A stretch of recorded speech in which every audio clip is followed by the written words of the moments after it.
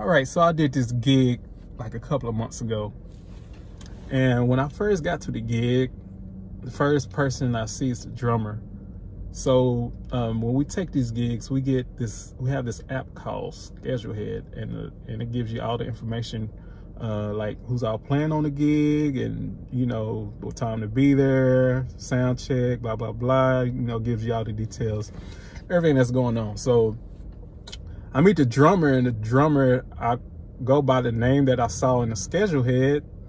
But uh, when I when I said his name, said the name that's in schedule head, he said, "Oh no, I'm I'm subbing in for that guy." I said, oh, "Okay, cool." So fast forward, we get the sound check. So um, right before we, we start warming up, you know, get ready to run over songs for sound check, the bass player um, the introduce himself to the drummer, and uh, then he, the bass player comes up to me because we play quite a bit.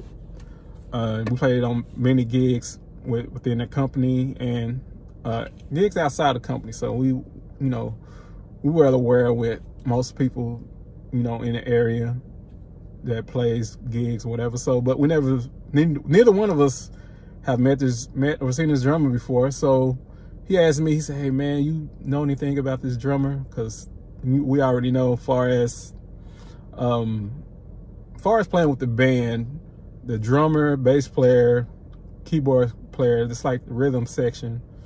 Uh, that usually, uh, that's, that usually lets band members know how the night is going to be if either one of those are not really good. So he asked me, he said, um, do you know anything about this drummer? I told him, I'm going to find out what's going to happen as you are. So went through sound check and sound check was uh, really sketchy.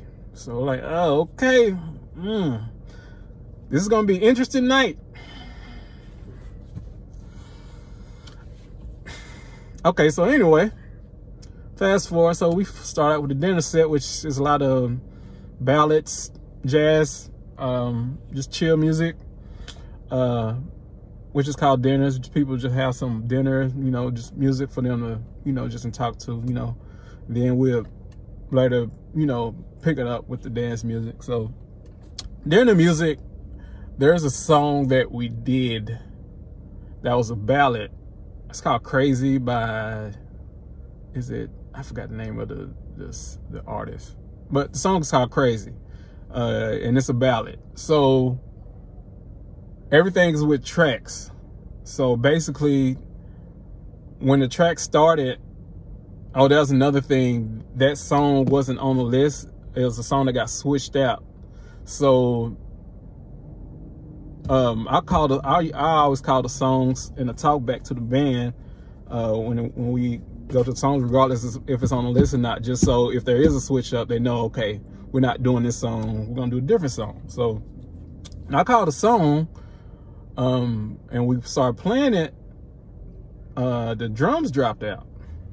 Well, the drums dropped out because I guess the drummer, he kind of freaked out and he was like, uh, he didn't know the song. The, bass player like, hey man, what, what you doing? You gotta, you gotta play. He like, man, I don't know the song. He's like, dude, you gotta play something. I mean, it's just a ballad.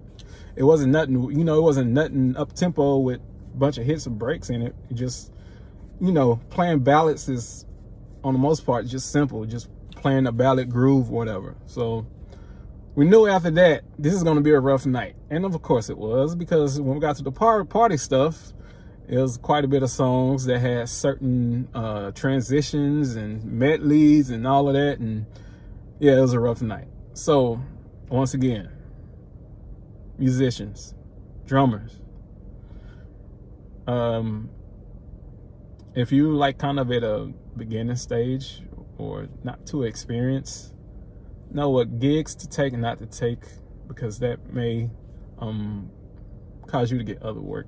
So, word of advice. Peace.